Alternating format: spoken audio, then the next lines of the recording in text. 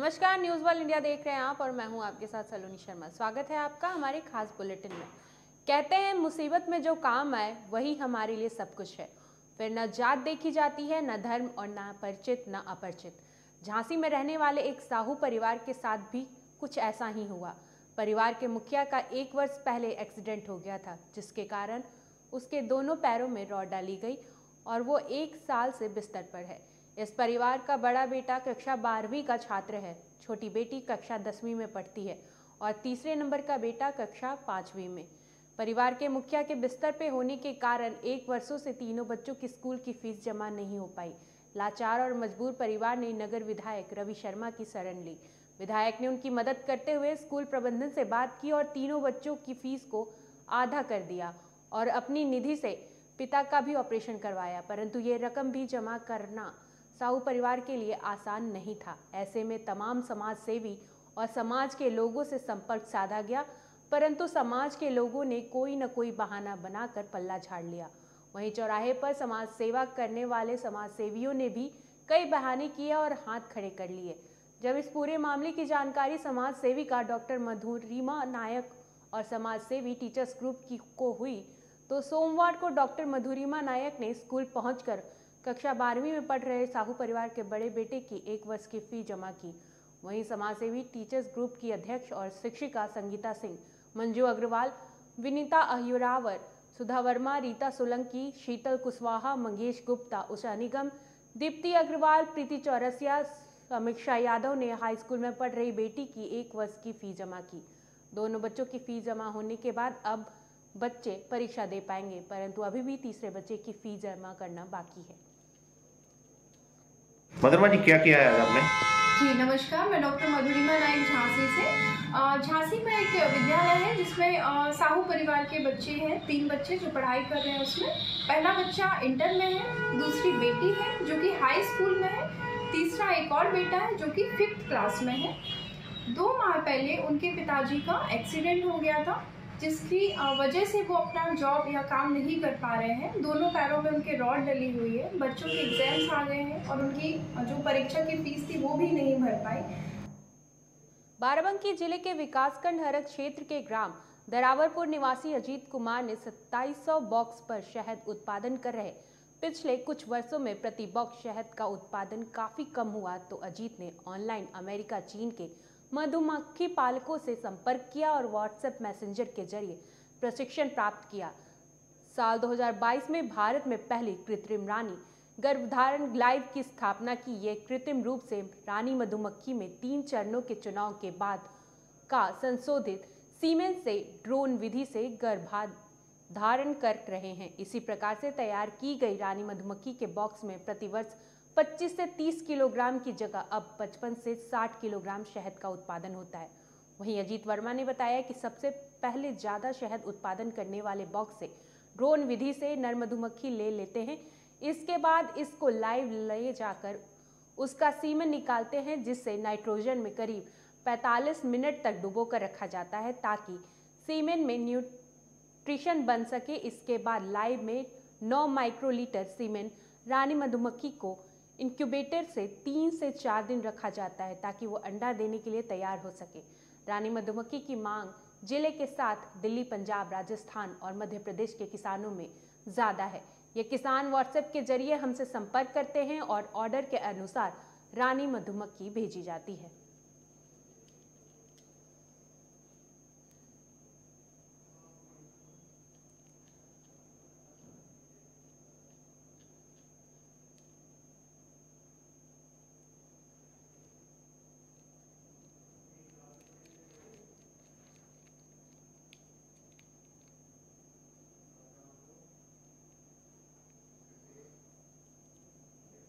Shahjahanpur police ने अलग अलग ज़िले में करोड़ों की ठगी करने वाले नटवर लाल को गिरफ़्तार किया है।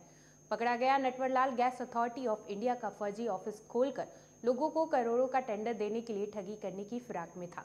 पकड़े गए ठग के ठग के पास से केरल का Aadhaar card, laptop, gas authority of India का फर्जी नियुक्ति पत्र और गेल के फर्जी मोहरे बरामद हुए हैं। फ़िलहाल पुलिस ने पकड़े गए नटवर लाल को जेल भेज दिया है। दरअसल निकोही क्षेत्र में गैस अथॉरिटी ऑफ़ इंडिया का एक फर्जी ऑफ़िस काम कर रहा था, जिसे राम नरेश शुक्ला उर्फ़ रामास्वामी संचालित कर रहा था। रामास्वामी खुद को गैस अथॉरिटी ऑफ़ इंडिया का परियोजना निदेशक बता रहा था।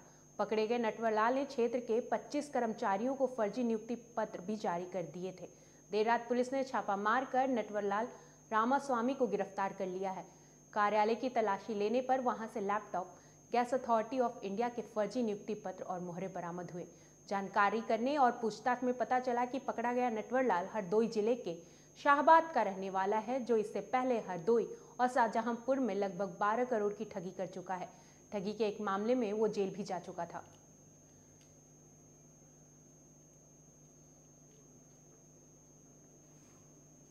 कयूम खान नाम के व्यक्ति ने कल थाना निगोही पर सूचना दी। कि निगोही क्षेत्र में एक राम नरेश नाम का व्यक्ति गेल कंपनी का अधिकारी बनकर एक ऑफ़िस चला रहा है और लोगों को फर्जी तरीके से नौकरी पर रखकर टेंडर निकालने वाला है। और उसके घर के दो बच्चों को नौकरी पर रखा था तनख्वाह नहीं दे रहा इस प्रकरण में अभियोग दर्ज करके द्वारा पूरी विवेचना जाँच की गई और उसके राम नरेश के ऑफ़िस की जाँच की गई तो मालूम पड़ा वो स्वयं को यहाँ पर गेल कंपनी का स्थानीय अधिकारी बताकर कुछ लोगों को उसने नौकरी पर रखा था फर्जी तरीके से। उनको नियुक्ति पत्र दिया था कंपनी की ओर से। मेरा नाम दीपक कुमार सिंह है और मेरा निगोई में यहाँ ऑनलाइन वर्ड नाम से जनसेवा केंद्र सीएससी सेंटर है।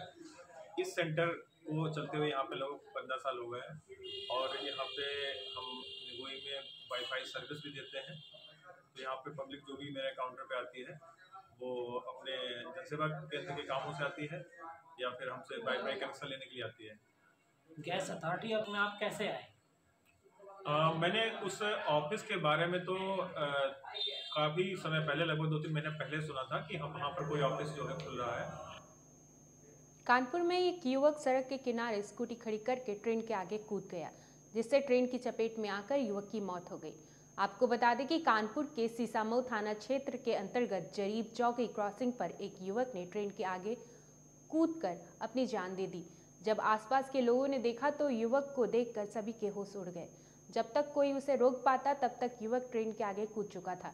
इस संबंध में सीसामऊ एसपी श्वेता कुमारी ने बताया कि सीसामऊ थाना क्षेत्र अंतर्गत एक व्यक्ति ने ट्रेन के आगे कूदकर जान दे दी है, जिसकी स्कूटी रोड के किनारे खड़ी थी। जानकारी करने पर पता चला कि मृतक कानपुर का ही रहने वाला है, जिसकी उम्र 45 वर्ष है और मदन गुप्ता नामक से पहचान हुई है, जिन्होंने कालिंदी एक्सप्रेस ट्रेन के आगे कूदकर जान दे दी है।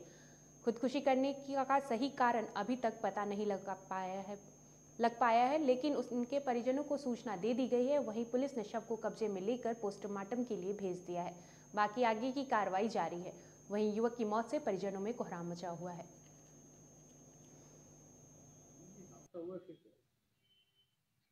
आज दिनांक 8 जनवरी 2024 को जानकारी मिली कि मदन गुप्ता ने, जिनकी उम्र 45 वर्ष है, कालिंदी ट्रेन के आगे कूदकर आत्महत्या कर ली है।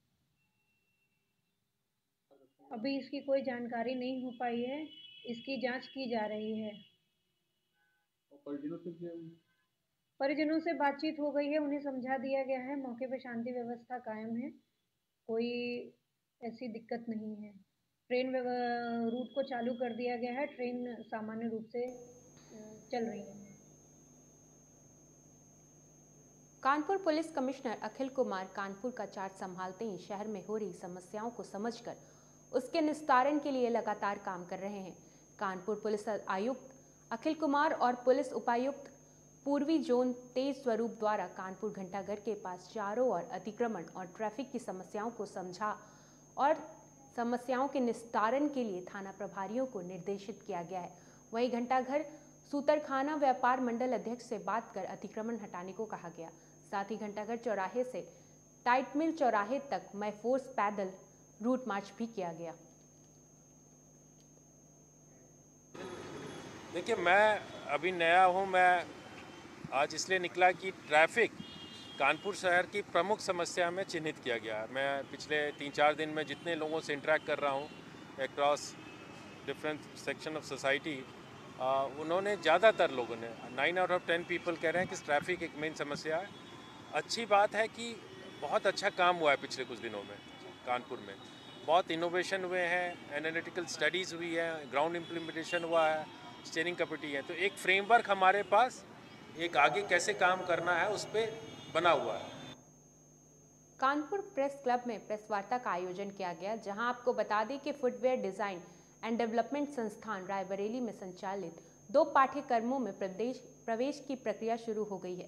संस्थान में संचालित पाठ्यक्रम में प्रवेश के लिए पाँच मई तक ऑनलाइन आवेदन किए जा सकते हैं। ये आवेदन fddindia.com पर लॉगिन करके कर सकते हैं। प्रवेश के लिए देश के 32 शहरों में प्रवेश परीक्षा का आयोजन किया जाएगा। कानपुर प्रेस क्लब में प्रेस वार्ता करते हुए संस्थान के छात्र, मामले के प्रभारी नलीन पांडे ने बताया कि भारत सरकार के वाणिज्य एवं उद्योग मंत्रालय के अंतर्गत फुटवेयर डिज़ाइन एंड डेवलपमेंट संस्थान देश के बारहवें स्थान पर संचालित है। यह संस्थान इंस्टीट्यूट ऑफ़ नेशनल इम्पोर्टेंस का दर्जा प्राप्त संस्थान है। उत्तर प्रदेश में ये दो स्थानों पर है, पहला नोएडा और दूसरा रायबरेली। फुर्सतगंज में स्थित है। रायबरेली फुर्सतगंज में दो कोर्स, चार वर्षीय अवधि के bachelor of design fashion design and bachelor of design footwear design and production में प्रवेश के लिए आवेदन किए जा सकते हैं। इन कोर्स में प्रवेश के लिए किसी भी स्ट्रीम से बारहवीं पास अथवा इस वर्ष बारहवीं की परीक्षा में बैठ रहे, ये आवश्यक है। मेरा नाम सीमा यादव है। मैं F D D I, footwear design and development institute से हूँ। ये एक सेंट्रल गवर्नमेंट का इंस्टीट्यूट है, जो कि ministry of commerce and industry government of India के अंतर्गत काम करता है। हम यहाँ पे, हमारे एडमिशन प्रोसेस स्टार्ट हो गए हैं। इसके बारे में हम जानकारी देने के लिए यहाँ पर आए हैं। हम एफ़ डी डी आई में एडमिशन प्रोसेस स्टार्ट हो गए हैं पच्चीस अप्रैल से। पच्चीस सॉरी पच्चीस अक्टूबर से स्टार्ट हो गए हैं और बीस अप्रैल लास्ट डेट है फॉर्म भरने की। तो जो भी छात्र इंटरेस्टेड हैं footwear designing fashion designing B B N retail and fashion merchandise M B A in retail and fashion merchandise और M Des in fashion designing और फुटवेयर डिज़ाइनिंग में जो भी छात्र एडमिशन लेना चाहते हैं, वो हमारी वेबसाइट पर जा कर के फॉर्म फिल कर सकते हैं। रायबरेली में मुख्यमंत्री योगी आदित्यनाथ का भूमाफियों के खिलाफ लगातार एक्शन जारी है। उन्होंने सभी जिला अधिकारियों को निर्देशित दिया है कि राजस्व मामले में कोर्ट में लंबित मामले को ज़िले में जल्द से जल्द निपटाया जाए। वहीं इसी एक बानगी आज देखने को मिली है। आपको बताते चले कि कई वर्षों से तालाब की ज़मीन पर काबिज भूमाफिया पर आज जिला प्रशासन का डंडा तहसीलदार सदर ने आज ज़मीन से बेदखल करने के साथ ही करोड़ों रुपए का जुर्माना लगाया है। मामला सदर तहसील क्षेत्र के Lucknow Prayagraj N H thirty मार्ग पर सराय, दामू गाँव के पास स्थित पेट्रोल पंप का है, जहाँ भूमाफिया मोहम्मद हसनैन पुत्र मोहम्मद हाफिज, निवासी काहोरों का अड्डा शहर कोतवाली ने करोड़ों रुपए की कीमत की लगभग पौने दो बीघा तालाब की ज़मीन पर कूट रचित दस्तावेज़ तैयार करके अवैध पेट्रोल पंप का निर्माण कर लिया था। भूमाफिया मोहम्मद हसनैन लगभग सत्रह साल तक जिला प्रशासन को गुमराह करता रहा, लेकिन जिलाधिकारी हर्षिता माथुर के निर्देशन के बाद तहसील प्रशासन एक्शन मोड में आ गया। इसके बाद मोहम्मद हसनैन के द्वारा करोड़ों रुपए की कीमत की ज़मीन पर बनाए गए पेट्रोल पंप को अवैध घोषित करते हुए सत्रह सालों से इस्तेमाल की जा रही तालाब की ज़मीन पर दो करोड़ आठ लाख बारह सौ रुपये का अर्थदंड लगाते हुए ज़मीन से बेदखल करने के आदेश दिए गए। भूमाफिया हसनैन के ऊपर हुई कार्रवाई से ज़िले के भूमाफियों में हड़कंप मच गया है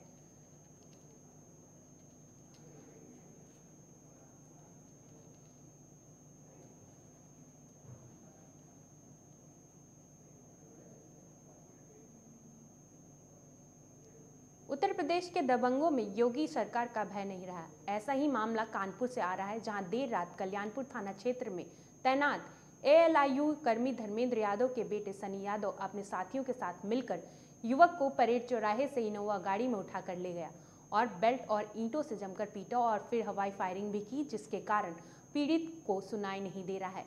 युवक के शरीर पर गंभीर चोटें आई हैं। पीड़ित व्यक्ति द्वारा लिखित तहरीर पर पुलिस कार्रवाई करने की बात कर रही है। अब देखना यह होगा कि कानपुर पुलिस की तरफ़ से कितनी कड़ी कार्रवाई होती है। या मामले को ऐसे ही शांत कर दिया जाएगा और दबंग इसी तरह से दबंगई करते रहेंगे। वहीं लोगों की माने तो कल्याणपुर के पनकी चौकी में तैनात एलआईयू कर्मी धर्मेंद्र यादव के पुत्र सनी यादव पिता का रौब दिखाकर जमकर गुंडागर्दी करते ही रहता है। इस संबंध में यह बताना है कि आयुष द्विवेदी नामक एक लड़के ने यह आरोप लगाया है कि सनी यादव और उनके कुछ साथी द्वारा इनके साथ मारपीट की गई है। इनका ये कहना है कि परेड से इनको उठाकर गाड़ी में ले जाया गया और बाद में मारपीट करते हुए इनको केसा चौराहे पर छोड़ दिया गया है। ये यह भी ज्ञात हुआ है कि पूर्व में एक अभियोग सनी यादव के द्वारा पंजीकृत कराया गया था, जिसमें आयुष द्विवेदी भी नामजद है उनकी संलिप्तता उसमें थी। बढ़ते हैं अगली खबर की ओर। अगर आप ब्रांडेड मसालों के शौकीन हैं तो आप सावधान हो जाएँ, क्योंकि ब्रांडेड मसाले गुणवत्ता के मानक पर खड़े नहीं उतर रहे हैं। रायबरेली ज़िले में बिक रही नकली मसाले को चेक करने के लिए जिला खाद्य सुरक्षा अधिकारी की टीम ने अपने फ़ूड सेफ्टी विल द्वारा जब ब्रांडेड मसालों की जाँच की तो उसमें वह मानक पर खड़े नहीं उतरे। आपको बताते चले कि रायबरेली की खाद्य सुरक्षा विभाग की टीम से अपराजिता तिवारी द्वारा फ़ूड सेफ्टी व्हील द्वारा बनी वैन में जाँच की गई तो मसाले की गुणवत्ता मानक के अनुरूप नहीं निकला। खराब रिपोर्ट आने के बाद अब मसाले को रायबरेली के बाहर बड़ी लैब में भेजने को का फैसला लिया गया है। अशोक मसाले की जाँच में पाया गया कि पिसी धनिया और पिसा मिर्च, सब्ज़ी मसाले सहित अन्य सभी उत्पादों की बकायदा जाँच की गई, जिसमें पिसे धनिया और मिर्च पाउडर में मिलावट पाई गई है। खाद्य सुरक्षा अधिकारी अजीत कुमार ने बताया है कि पहले जाँच में ये मसाले गुणवत्ता परक नहीं पाए गए, अब इनको जाँच के लिए आगे लैब में भेजा जाएगा और इन मसालों को रोक इन मसाले पर रोक भी लगाई जाएगी। लेकिन जिस तरह से ब्रांडेड मसालों के नाम पर लोगों के स्वास्थ्य के साथ खिलवाड़ हो रहा है, निश्चित ही ये चिंता का विषय है। ब्रांडेड कंपनियों में अशोक मसाले के हल्दी पाउडर की पैक खोलकर पैक को खोलकर जाँच किया गया है। अभी हमारे ये फ़ूड सेफ्टी ऑन व्हील गाड़ी को केमिकल से इक्विप्ड किया जा रहा है। केमिकल एनालिस्ट को नहीं बुलाया गया है अभी। प्रिमिटिव तौर पर मेरे खाद्य सुरक्षा अधिकारीगण केमिकल का प्रयोग करके टेस्ट कर रहे हैं। हरदोई में घर में भीषण आग लगने से हड़कंप मच गया। आग लगने के कार आग लगने का कारण शॉर्ट सर्किट बताया जा रहा है। वहीं आग लगने से घर का घरेलू सामान जलकर खाक हो गया। सूचना पर पहुँची अग्निशमन विभाग ने आग पर काबू पाया। आग से बड़ा हादसा होने से टल गया, जिससे घर वालों ने राहत की सांस ली। मामला शहर कोतवाली क्षेत्र के बगियापुर व बावन चुंगी का है।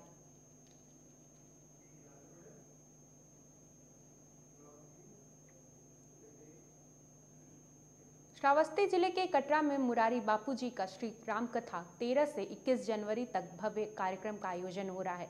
कटरा के चेतवन स्मारक सामने पर्यटन मैदान में मुरारी बापू की राम कथा कार्यक्रम आयोजित की जाएगी। वहीं डीएम कृतिका शर्मा और एसपी घनश्याम चौरसिया ने कार्यक्रम स्थल का जायजा लिया। साथ ही कार्यक्रम स्थल पर सभी तैयारियों को पूर्ण करते, करने हेतु संबंधित अधिकारियों को दिशा निर्देश भी दिए। इसके साथ ही कथा में पड़ोसी राष्ट्र नेपाल सहित अन्य जिलों के द्वारा प्रतिभाग करने की संभावना है। आयोजित कथा में अराजक तत्व पर पैनी नज़र रखने के लिए एसपी ने पुलिस अधिकारियों को निर्देश दिए हैं। कथा के संपूर्ण परिसर पर सीसीटीवी और ड्रोन कैमरों से निगरानी की जाएगी। सुरक्षा के मद्देनजर आने जाने वालों के लिए लाइट बैरिकेडिंग से परिसर को लैस किया जाएगा।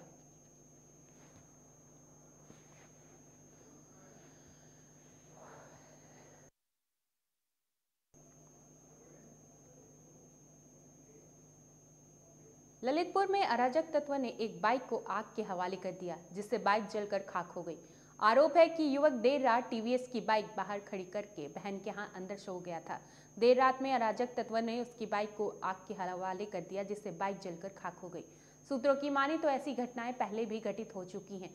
अब इस घटना के बाद लोग अपनी बाइक अपने घर के बाहर खड़ी करने से डर महसूस कर रहे हैं। मामला सदर कोतवाली अंतर्गत मोहल्ला नेहरू नगर का है।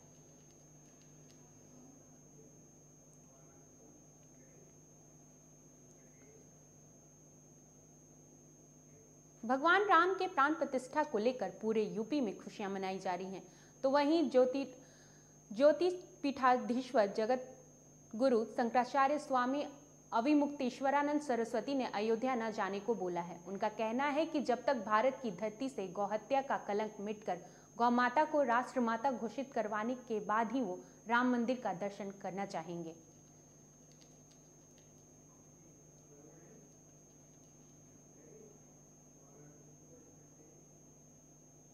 यूपी जोड़ो यात्रा के संपन्न होने के बाद कांग्रेस के यूपी अध्यक्ष अजय राय अपने गृह क्षेत्र वाराणसी लौटे, जहाँ उन्होंने काशी विश्वनाथ, काल भैरव और बड़े गणेश जी के दर्शन और पूजा पाठ किए।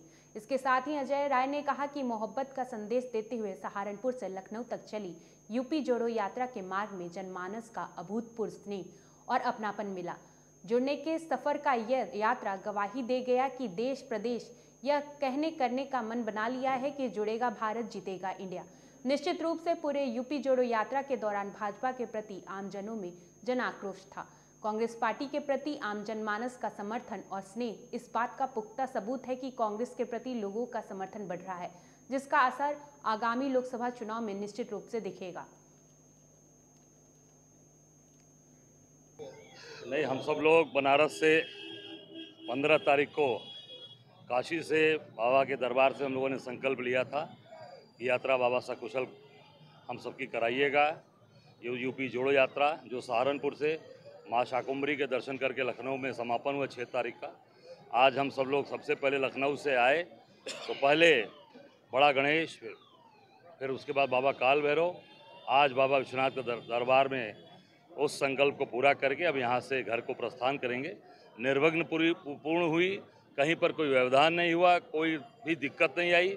बहुत अच्छे से बाबा की कृपा से पूरी यात्रा में सभी लोग सकुशल यात्री अपने घर को गए और सबने को बाबा का आशीर्वाद मिला, उनकी कृपा बनी रहे। वाराणसी के आदमपुर थाना क्षेत्र के कोयला बाज़ार इलाके में मंगलवार को उस समय हड़कंप मच गया, जब एक दुकान में आग लग गई। दो मंजिला मकान में नीचे बनी दुकान में धमाके के बाद आग लगने के बाद जब लोगों को ये पता चला कि यहाँ अवैध घरेलू गैस रिफिलिंग का काम होता है तो लोग अनहोनी से घबरा गए। वहीं सूचना पर पहुँची आदमपुर पुलिस और फायर सर्विस ने आग पर काबू पाया तो अंदर दो शव मिले। शवों को पुलिस ने मोर्चरी भेज दिया। एफएसओ फायर स्टेशन ने बताया कि इस दुकान में गैस सिलेंडर रिफिलिंग और बेचने का काम होता है। यहाँ विस्फोट के बाद आग लगी थी। इसमें दो लोग जो काम कर रहे थे, उनकी मौत दम घुटने और जलने से हो गई।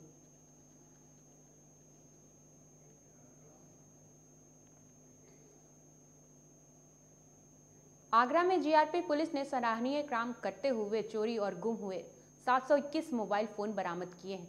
मोबाइल की अनुमानित कीमत लगभग एक दशमलव चौवालीस करोड़ रुपए बताई जा रही है। वहीं मोबाइल फ़ोन पाकर कर लोगों के चेहरे खिल गए। आगरा जीआरपी लाइन में बुलाकर लोगों को मोबाइल फ़ोन सौंपे गए। एसपी जीआरपी आदित्य लांगे ने मोबाइल फ़ोन बांटे हैं। देखिए अपर पुलिस महानिदेशक महोदय के निर्देश में एक विशेष अभियान चलाया गया है, जिसमें अगस्त माह से लेकर दिसंबर 2023 तक चार महीने के अभियान में टोटल 721 मोबाइल रिकवर किए गए हैं। ये वो मोबाइल्स हैं जो मिसिंग मोबाइल्स हैं। इसमें जो विशेष अभियान में जो पूरे भारत में, चाहे वो हैदराबाद हो, बैंगलोर हो, या फिर नॉर्थ ईस्ट हो, कहीं से हर जगह से हमारी टीम भेजी गई। वहाँ उन लोगों से मोबाइल बरामद किए गए। साथ ही साथ जो 721 मोबाइल बरामद किए हैं, इसकी टोटल जो कीमत है लगभग एक करोड़ चवालीस लाख है। इसमें सबसे अच्छा जो काम किया गया, वो मथुरा द्वारा किया गया है। रायबरेली में शासन से भेजी गई फ़ूड सेफ्टी वाहन को डीएम ने विभाग के अधिकारियों के साथ हरी झंडी दिखाकर रवाना किया। आपको बता दें कि मंगलवार को रायबरेली के कलेक्ट्रेट परिसर में खाद्य सुरक्षा विभाग के अधिकारियों के साथ डीएम ने शासन से आए फ़ूड सेफ्टी वाहन को हरी झंडी दिखाकर रवाना किया। जिलाधिकारी ने बताया कि यहाँ, वहाँ जनपद के विभिन्न तहसील और ब्लॉकों के गाँव में जाकर खाने पीने की वस्तुओं की जाँच करेगा, जिससे बीमारियों पर रोक लगाया जा सके। वहीं पहले दुकानों से लिए गए खाद्य पदार्थों के जाँच के नमूने लखनऊ भेजे जाते थे, लेकिन अब इस वैन के आ जाने से कुछ ही घंटों में खाद्य पदार्थों की जाँच की जाएगी, तथा जाँच के बाद जो भी निष्कर्ष निकलेगा, उसी आधार पर संबंधित दुकानदार या खाद्य विक्रेता, पदार्थ विक्रेता पर कार्रवाई की जाएगी।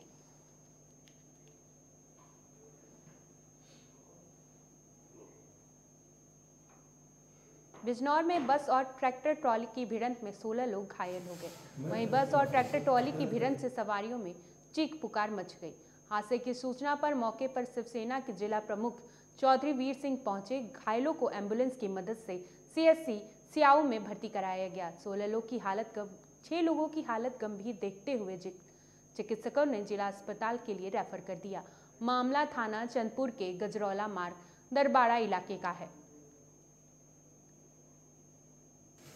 मैं क्षेत्राधिकारी चांदपुर, अवगत कराना है कि दिनांक 8 जनवरी 2024 समय लगभग दोपहर दो बजे, दरवाड़ा गाँव के पास चांदपुर की तरफ़ से आ रही रोडवेज़ बस ने एक ट्रैक्टर टाली को, जिस पर कुछ व्यक्ति सवार थे। ओवरटेक करने के दौरान पीछे से टक्कर मार दी, जिसमें पंद्रह लोग घायल हो गए। दस लोगों को सी से उपचार के दौरान घर भेज दिया गया। बाकी पाँच लोगों को जिला अस्पताल बिजनौर रेफर किया गया था। जिनकी स्थिति अब ठीक है। एफआईआर पंजीकृत कर लिया गया है। शेष वैधानिक कार्रवाई नियमित रूप से प्रचलित है। तो फ़िलहाल के लिए इस बुलेटिन में इतना ही। बने रहिए हमारे साथ और देखते रहिए न्यूज़ वाल इंडिया।